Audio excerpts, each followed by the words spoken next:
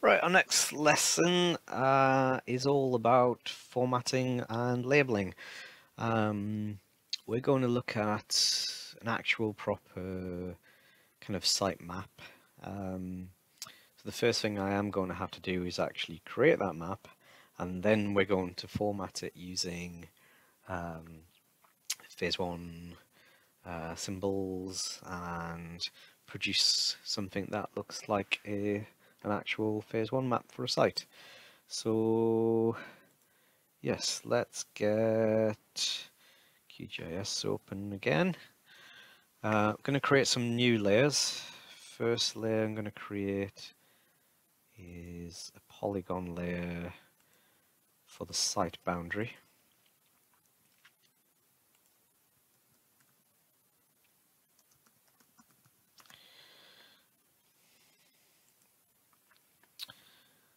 Not going to give that any attributes because it's just going to be a single polygon with a red line.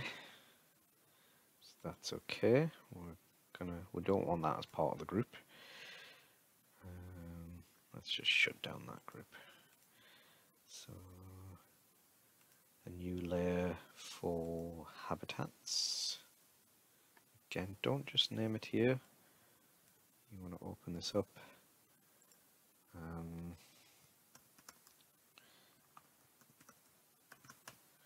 oh God, I'm not on top form with spelling today.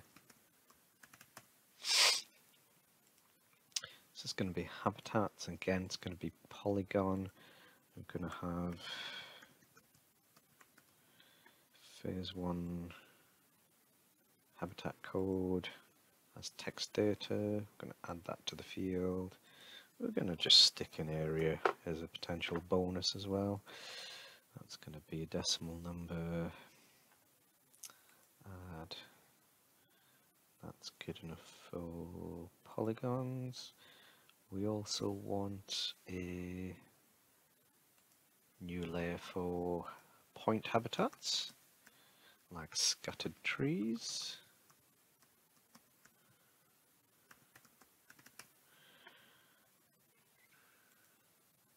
Point. Uh, just call it hub type text data. Okay. And another one for lines as well. I realised I didn't really go into the creation of lines and points in the last video, but they're pretty much the same as pretty much the same as uh, polygons.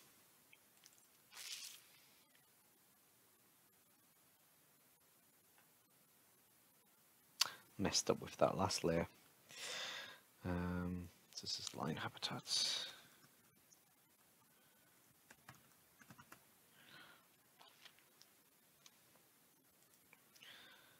Line do, do, do, do, do. type add okay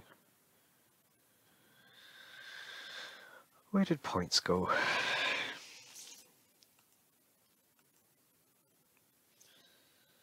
So this doesn't have a file path, it's just got a file name. So what we want to do with that is export to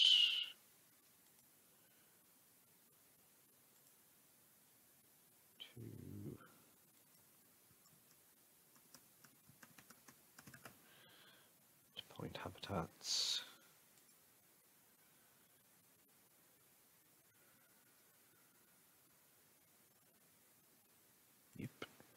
And then delete the original one. Which was the original one? Is that the original one? Yeah, that's the original one. We'll just remove that because that's just a temporary layer. right, first job, site boundary. So this is going to be red line site boundary. So we want to have it transparent with a red line. 5 pixels be enough? We shall find out.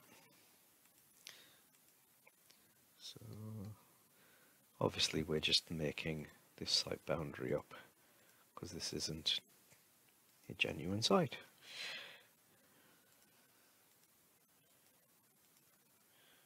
We'll just use the extent of the park.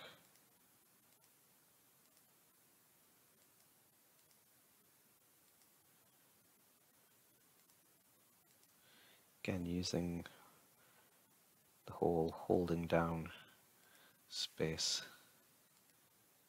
to scroll.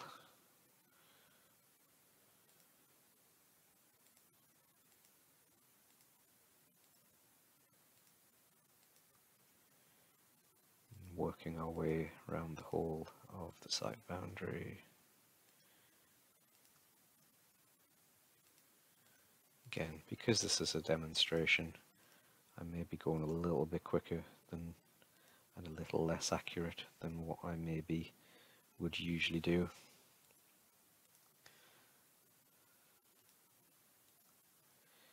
So let's just imagine we messed up and put an extra point here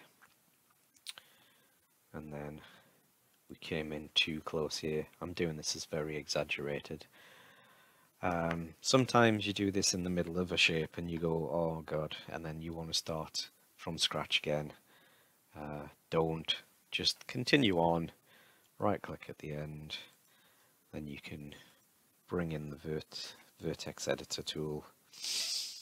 Uh, do you know what, we don't really need that point, but we're going to bring it back onto the line here. I'm going to bring this one back up here as well. And then that's our site boundary and we can finish editing that. So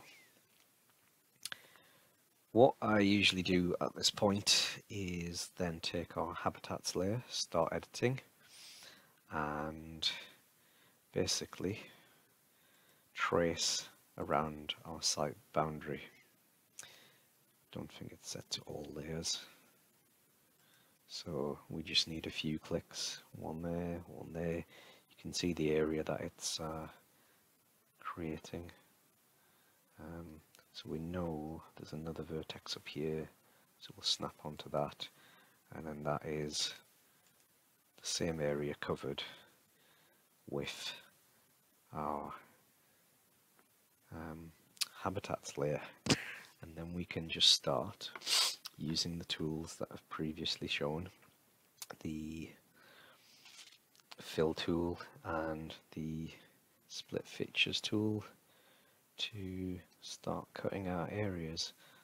I'm not going because this is just a demonstration and it's not a real site map, I'm going to be a little bit creative with some of these habitats and I'm going to ignore things like footpaths because it would take a long time, a lot longer than what I want to spend on this demonstration um, to actually draw those. So, ooh, sorry, what tool we're using here?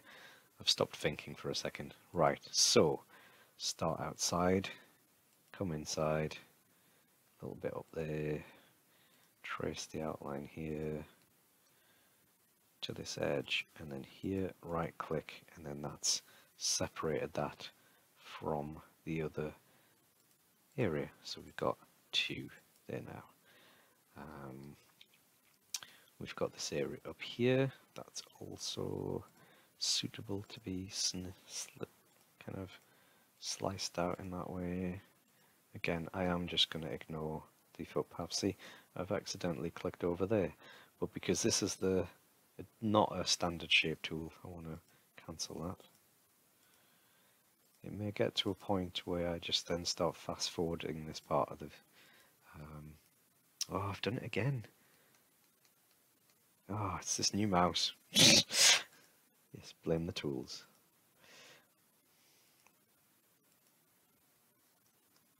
Because I'm trying to press the middle button and I'm keep pressing the left button instead. So let's forget that and just use the spacebar like I usually do. So again, we're cutting out these areas.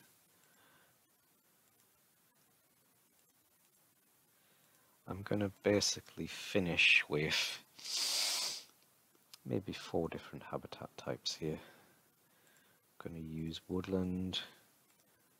There's going to be some areas of hard standing. Where did I start on this one? I started outside, good.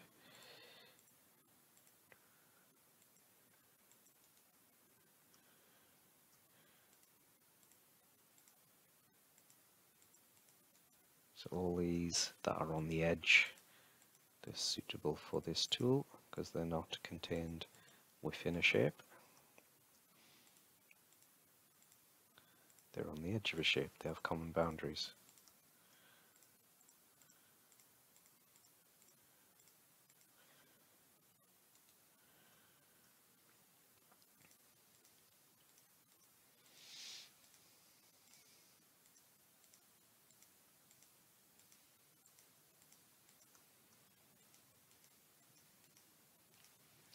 Again, just going through this quite quickly.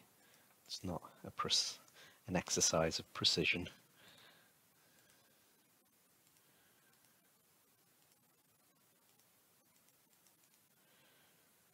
Um, that's everything we have on the edge. So these areas now are going to be suitable for the fill ring because it's fully contained within another feature.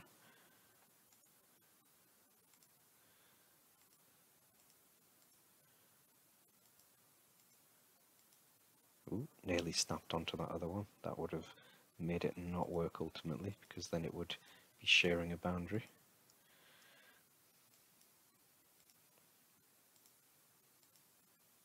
In fact, while I'm drawing these, and I know I'm not going to be snapping onto anything, it's a good idea to turn snapping off. Um,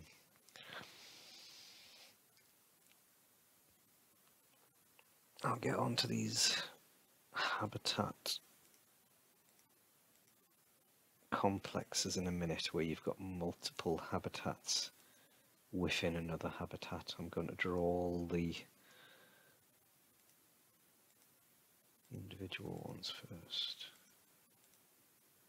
because there's a couple of different ways you can approach them. So I'll just stay with the fill ring and the habitats that are solely within another habitat.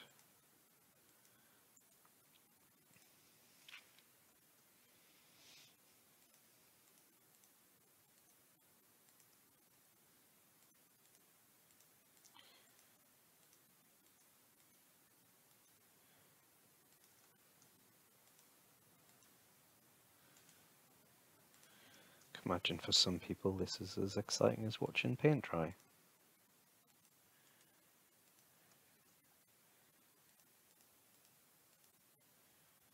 Again, just left clicking to place your points, right clicking to finish your shape.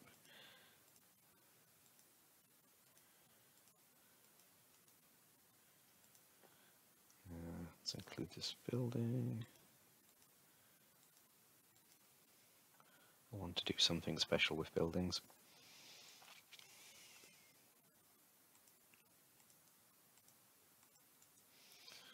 Obviously we're just working from the base map because I don't actually have any phase 1 site notes for this site. Uh, one thing you could do um, would actually be to digitize your site notes, sorry, scan them into a image file and then actually georeference your site notes onto here so then you could literally just trace around the areas that you've drawn in the field and actually uh, compare those with uh, say like an aerial image of the site as well to see if you've got the habitat boundaries correct. I'm going to make this hard standing area here as well. Actually no we're not, we're just going to do this bit because this is the tennis courts local knowledge that. um, so, right, I think these are the only habitats that we've got left. Um, so you can see that these here are touching so it's not a single habitat contained within another habitat type it's kind of two habitats within. So there's two options to deal with this. You can either trace around all of the habitat complex and then cut it out, so like split between the pond um, and the woodland. Actually, let's just do that. So again, I'm just doing this very quickly. The only thing that I want to avoid here is to touch any other edges. So I wouldn't want to accidentally snap onto somewhere like that. So we basically draw around the habitat complex and then we can use the split features tool to I do want to snap there though. Snap onto that. Ooh. Ooh, it's not going to be the right shape but again this is just a demonstration. So that should now split these two. So we have a separate pond from the woodland or the other option would be to use fill ring on one of these parts. So to cut out the pond on its own. Not worrying about the islands within the ponds. And then we are considering this as the shape that we want to split a part out of so we want to split this bit of woodland out of this larger yellow shape um, so if we start inside of the pond. Come out here.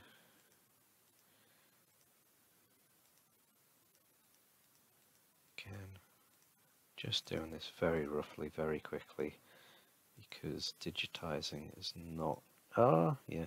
I'll just, I'm because I've snapped onto here. I'm just going to finish at this point. Should have come along here, this slither, but I've made a mistake there. So let's just right click and now that's separated the pond from there. So two options, either you add everything as a habitat complex and then split the individuals or you can create the ring and then start splitting from the edge of that ring. And I believe that is all of our habitats now. Um, digitized. So we're going to save this. So, as I was saying before, you can select uh, multiple. So if you hold down control, you can, so we're going to call all of these areas woodland areas. So we're going to select them all. I know these are not all woodland areas, but for the purpose of this exercise to keep it a limited number of habitat types. We are going to call them all woodland areas. Missed one out there, but that's not really important because that's not the purpose of this exercise. So, I mentioned earlier about adding attributes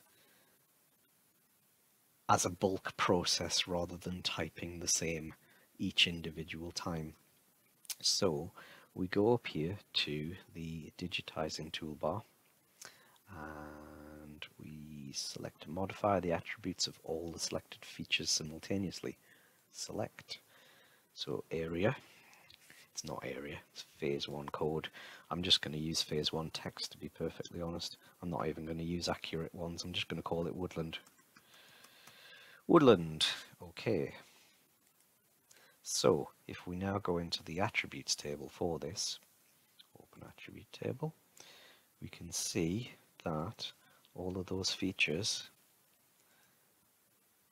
are now called woodland and the rest of them, so you can order this by whatever you call them.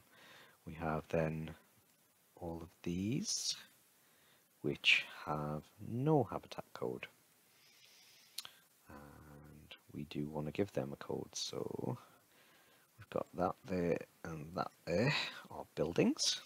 So again, do the same thing. Phase 1 habitat called building. Okay. what have we got left?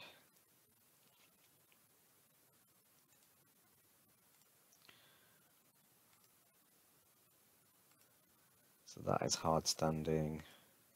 That's also hard standing. Oh, that's a pond. So we've got a pond there. So let's just do these in here. So that's just call it HS for hard standing. Um, that is all grassland. That is a building, we know that. Um, hard standing. So this, this is moving down because I've got this organized by phase one habitat code. So as soon as this is given a value, it moves down to the other hard standing parts. This last part there is also a pond. That I believe is all of our habitats have now got a habitat type. Uh, what I'm going to do at this stage is also add some additional attributes to these. So things like ponds and buildings, you may want a number for different reasons and you may also want to give them other attributes. So like, um, let's create a building number. Oh, let's call it build no, it might not fit. Build no, whole number yes. So we've got this new attribute here now. So we can call this building 1, call this building 2. Um, we're also going to save. You may also, if you've got things like ponds, call that pond number. And click on OK.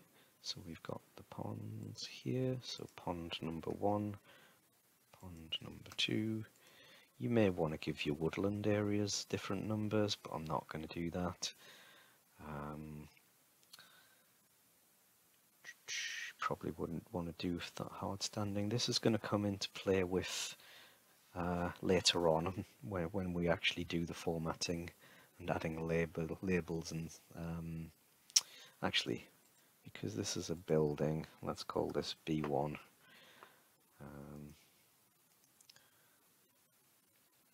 call that B2 and call this P1 and P2. Ah, because I did it as uh, I I I did it as a numerical field only. It'll only allow me to put numbers in here. So what I'm going to do is delete building number and pond number create these again but have them as text.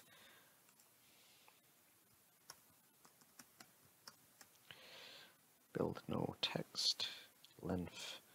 Uh, that's going to be three at the most, and then also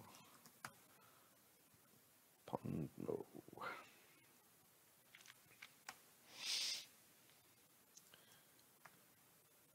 No. Right, so building B1. So can you can fill these in as the attribute uh, thingy pops up, but if you, especially if you're doing things on bulk, um, sometimes doing it afterwards, selecting them all might be the better way. Sometimes it's easier just to blast through the actual georeferencing part. Sorry, not the georeferencing, the digitizing part, and then uh, deal with the attributes afterwards. It all depends on how complex your map is. Okay, the reason things may have just started to look suddenly very different is because uh, originally, at this point, I made some mistakes and I've had to backtrack a little bit uh, partly because I didn't have some files prepared that I was going to need and partly because I'm just generally a bit of an idiot. So let's pick up from where we left off, which I believe we were in the attribute table, which you will now see is lacking some values and has some additional habitat codes on the ends of uh, the habitat descriptions. so, where were we? we had just inputted building numbers and pond numbers. Um, so other things that you may collect during your initial phase one habitat survey that you may want to display. Uh, actually not really on phase one habitat survey, you might have done a building inspection for bats at the same time as well. So let's create another field for bat potential.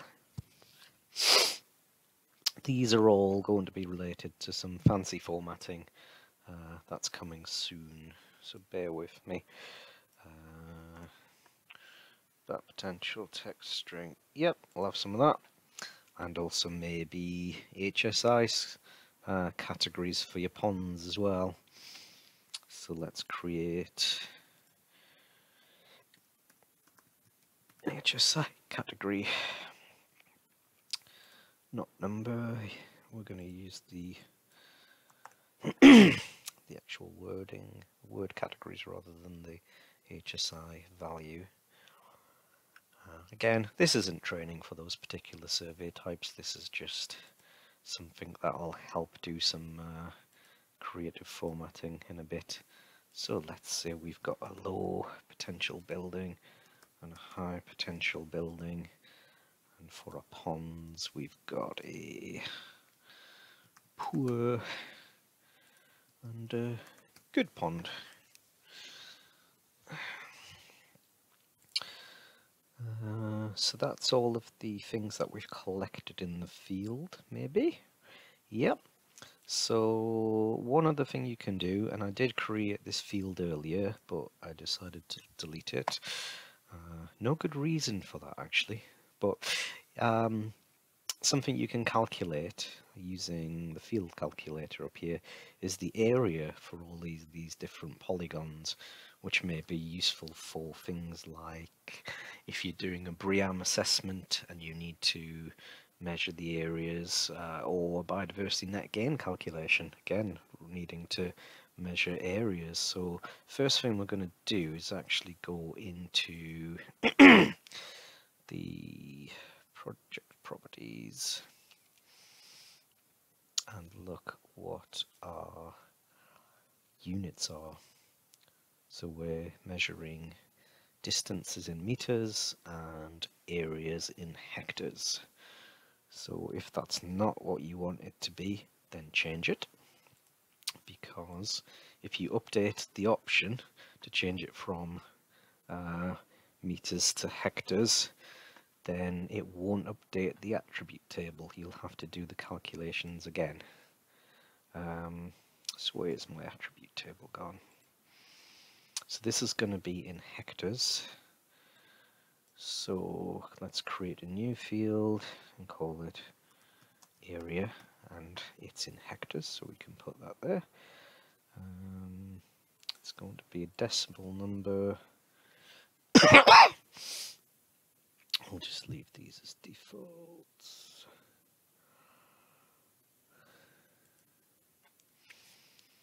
Open the field calculator we're going to update the existing field which is area. And then it's a geometry function. Double click on area and then press OK. And then that is now all of the areas in hectares for all of these individual shapefiles. You can export the attribute table into Excel. Um, so if you're wanting to do anything with those areas, I'm not going to show you how to do that right now though. Uh, maybe that's another video sometime. so, right, we're finished with all of our creating of data, so we're going to stop editing and close that now. So we have all these habitats individually uh, individually created, there's no overlaps, there's no slithers, they're all unique individual habitats. Um, so now we need to get some formatting on them uh, to make them actually look look like a, a proper map. Um, so if we open the properties on the layer that you want to format, um, so I may have said this earlier, if you're doing anything like styling um, that involves the properties of a layer, you're not editing the data within that layer, the actual shape files themselves, we're editing how the project is deciding to style these layers. Um, so that's important to remember. We're not, if this isn't toggled for that layer, then it's not an edit to that layer, it's an edit to the project and not to the actual data within the layer. So anyway, we've got single symbol symbology at the moment and what we want to do uh, we can get rid of the opacity now because we are wanting to overlay this on our base map without the base map actually showing through. So what we do is we we need to do a categorized symbology and we're going to categorize the symbology based on the habitat code. We click on classify here and then all the different habitats are giving at the moment it's set as random color if we press apply though and then we can look that they're all different colors based on habitat type but it looks horrendous. And it's not looking like a standard phase 1 map one would look like. Um, so we need a file that contains all of the stylings for phase one. I will post this on the Facebook group page. Um, I couldn't use the one that I usually use because it was created at work, so I can't hand that out willingly. I've had to recreate one by downloading from the JNCC website. They've got a .style file, which is meant for ArcGIS and not QGIS so it didn't work straight away. I've had to run it through a few other programs to actually convert it to the right format, which is XML. Um, so what we need to do to get that XML file into QGIS is to go to Settings and Style Manager. You'll see that there's some, um, these are the favorites at the moment that are up here. They're just kind of defaults. It's nothing that I've actually defined as favorites. If we look at all, then you'll see we've got some phase one things in here. We've got some preset ones. Um, there's two versions of each because some are the ones that I've created from the JNCC file, which are the ones that are just the numeric ones. Sorry, just the ones with the code rather than the habitat description. The ones that have the description are my are the ones that I use at work, and there's some edits to these um, based on the the actual uh, JNCC published ones. Some of these haven't converted over properly as well, um, but most of them are correct, and it'll get you started at least. So, what we need to do is go to import export and we're going to import items. we need to find the location of our style file. I've got it down here, it's an XML. They are QML versions, but I'm not a big fan of how they work. Um, and you haven't got a lot of control over making edits to them. It's just sort of like a preset style sheet that you apply based on values rather than um, yeah, I'm just not comfortable using them. I prefer XML. Um, so anyway, we select that, open. It'll show you all of the available styles. Select all and then press import. Because I already have them um, imported, it's asking me if I want to overwrite. So I'm just going to cancel that. Um, so now we close the style manager. We open up our uh, properties for this again.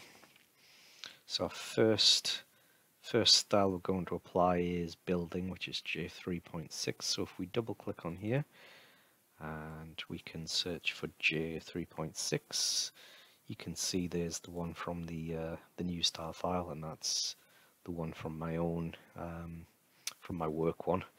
They're identical so nothing to really worry about there. So for double well don't need to double click on it just click OK. That's now styled as black we've got some B6 grassland which is some semi-improved poor semi-improved grassland so B6 you can see the difference between these styles here so we'll select that one. HS hard standing. There isn't a JNCC code for hard standing. It would just usually go down as other habitat, but I think it looks it's more sensible just to put uh, a grey layer on it. So I have a just a grey colour already set out. Pond, G1, standing water. Again, you may disagree with some of these categories that I'm giving these, but this is just an exercise on styling rather than on accurate phase 1 mapping.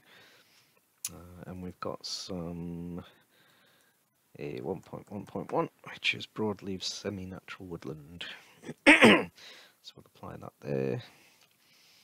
We'll remove that because we know there's no other, there's nothing that doesn't actually have a format and then we'll click apply. Okay, and now this is our phase one map. As you can see, unfortunately, this style file doesn't have um, a white background on some of these symbols. So what we can do is make a very quick edit to that so we can basically white out the background so the base map doesn't show through. So if we double click on here, so you can either double click directly on a symbol to edit it or go back through into properties and then symbology, but it's just quick if you just double click it here. Um, so basically these are all the items that make up um, this uh, this style. Uh, we need to add a new one uh, we also need to move it to the very bottom. Come on, go down. Oh no, sorry, it's using the arrows. Uh, so as you can see, that's now that marker over um, the original marker over a blue background. We don't want that, we want a white background. Um, and then we'll take the line off the edge as well But it's still got the original edge line if it had one. And then if you press OK, that's now whited out um, the semi-improved areas so that the base map's no longer showing through. Um, I haven't really given any attention to point and line um, features at this point. So I'm just going to very quickly um, draw a line. I know on this site we've got a hedgerow running down this side here. So let's just stick that in. It's exactly the same way as drawing a polygon. Um, let's just take these off. I'm going to use snapping on all layers because we're going to snap to the the actual site boundary because I know it runs down that side of the site and we'll just use vertex as well um, so yeah start drawing by left clicking that's just one straight line all the way down I've accidentally clicked there so I'm going to unclick that Again, blame this mouse.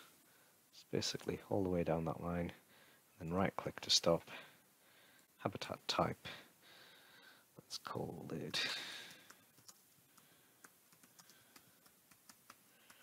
intro. so that at the moment is styled as a single blue line.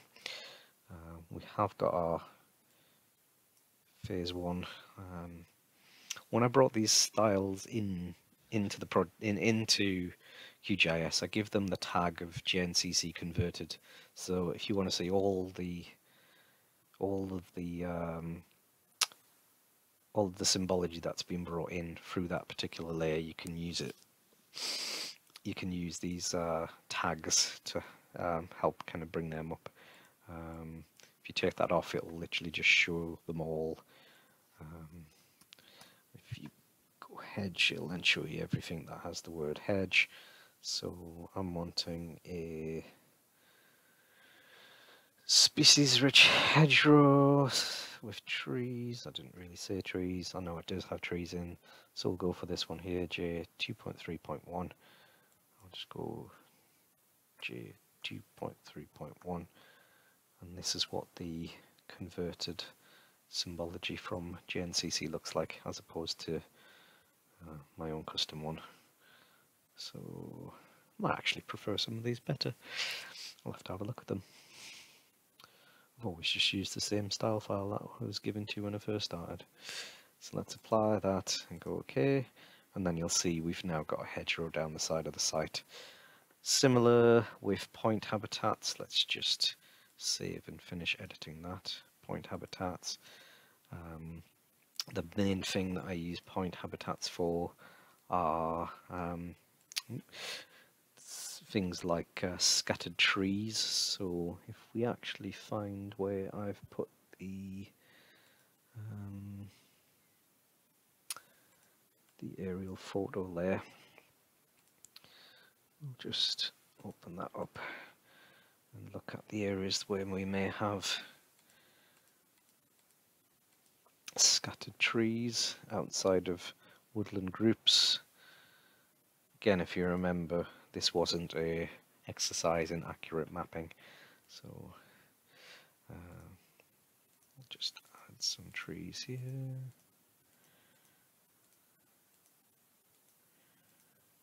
We are going to have bits where we've got trees that probably should be considered the same woodland group, but this is just an example on how to map things, not on how to do phase one surveys. Anyway, you get the idea. Left click to place a point. There's nothing you have to do after that. It's only a single click because there's no uh, distance or shape associated with points. Um, to do the symbology of points, it's exactly the same. Because we're only using a single point in this layer, um, we can use the single symbol. Um, get rid of that. So I'm going to use broadleaf A3.1. So as you can see that's a symbol that hasn't converted over properly. Um, and you could very easily just modify this to a kind of simple marker. At the moment it's font. We'll change that to a oh, What's my other one? What does my other one use? Um, so I've used marker, simple marker, and then a circle and this green colour. So I'm going to copy that colour. And we're going to go... So we're actually going to edit this um, the 3.1 just to make it the same. Just to show you guys how to actually edit one of these. So again it's uh, marker I'm going to use a simple marker just like that from here. And then you've got a circle down the bottom. Um, I believe that's the same colour but we'll just paste that anyway and we'll apply and all our trees will be shown by these green circles. so we'll put the rest of the habitats back on now. This is looking more and more like an actual phase one habitat survey map now.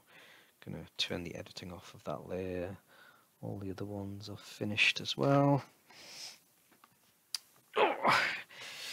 So that's symbology on lines, polygons and um, lines, polygons, and points. So now we're going to look at how to label label features. Um, I think one of the obvious ones would be maybe to label the pond numbers. Say that we were referring to uh, ponds in one of the in our report, and we wanted these highlighted. So we open the layer, we go to labels, we select single labels, and then we look at we need to tell it which which attribute we're going to label it from. Um, and then we can have pond number here. And yeah buffer draw text buffer uh, there's all sorts of different options you can use in here I'm not going to go through these all because that in itself is a big lesson uh, all I can say is play with them. Just open up a project, create some shape files, add some data to those shape files and just play with how the labeling works. Um, it's how I learned most of what I know. Um, so yeah, just just have a play. But you can see now we have our ponds labeled up with um, with what they actually are. Uh, so pond 1 and pond 2. Um, if we were wanting sort of like all features that have a label um, labeled up on the same map, it would be a good idea to to actually have them in a in in a single column. Um, I've done this deliberately like this because usually you'd have maybe a, a phase one habitat plan and then you might be single specifically um, showing plans for things like ponds and newts and bats and buildings and trees so a lot of the time I like to kind of have plans for individual things like that uh, but you can just put them all in one layer and then when you do that they'll they'll actually show up so I'm going to show you something a little bit more advanced with symbology that I occasionally use sometimes. Um, so we're going to use the buildings as an example. Um, and we've already, we're already in the attribute table have uh, different data for these buildings in terms of their bat roost potential. Um, so what we're going to do is make a copy of this layer. So we're going to duplicate it we're not copying the underlying data. We're just basically saying we're creating a copy of this, a copy of the formatting. It's a different way of formatting the same layer within the same project. Um, it's basically from the start looks identical to the original one. If we go into properties Instead of the phase 1 code, we're going to use the bat potential.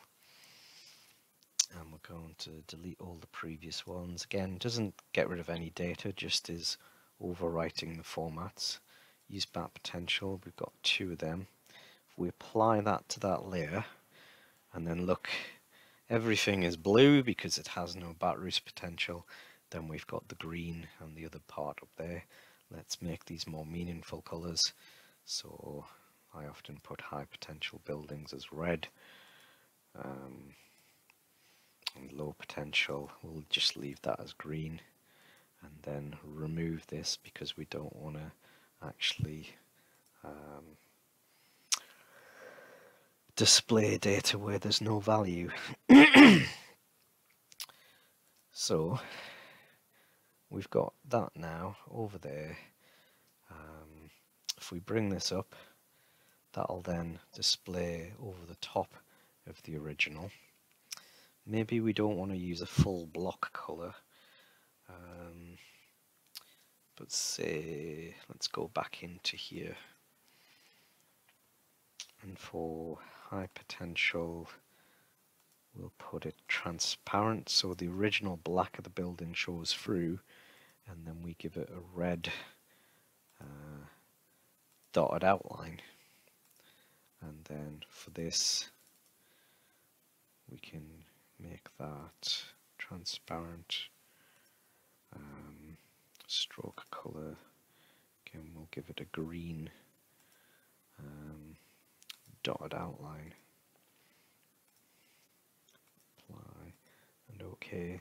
So then you can see around these buildings that they've actually got outline colours based on um, based on their batters potential. You could do something similar for the ponds as well to show ponds of different great crested newt HSI categories. Um, there's lots of different ways you can play around with symbology on a map. Sometimes you just want a straight basic phase 1 map. Um, sometimes you want something a bit more complex. If it gets too complicated and messy though, it's a bad map. If it's not readable, then don't do it. Make a separate map and highlight it that way. But if you can incorporate multiple sets of data onto the same map and still make it readable for the end user, then there's no good reason not to do that. In this layer as well, when we've got this, we can add the we can add labels on this as well, um, in exactly the same way as before. But obviously, we're not using pond number; we're using building number instead, and then we'll have the building numbers associated with them as well. Um, so we've got building numbers and pond numbers, and then the buildings formatted differently. We could have the ponds differently. Like I said, symbology is all about what works on that particular map to make it clear to whoever's actually looking at it. Um, if it's not clear, simplify it, make a separate map. But if you can make it as a kind of hybrid map with multiple data sets on, um, that can be great. Um, but anyway, so that is symbology and labeling. Um, I'll just say with labeling,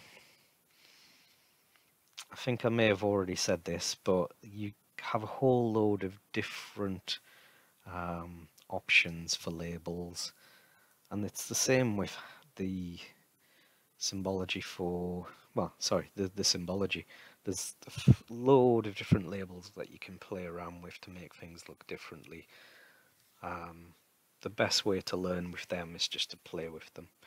Um, I'll probably deal with, at some point in the future, I'll probably do sort of like a styling and la labeling masterclass, um, specifically focusing on that because it's a big topic because there's a lot of different options that you can play around with and like say you've got things like combining um, the same data multiple times with slightly different styling to make certain features stand out um, without too much kind of faff in the main attribute table. But anyway, that's enough for now on labeling and symbology.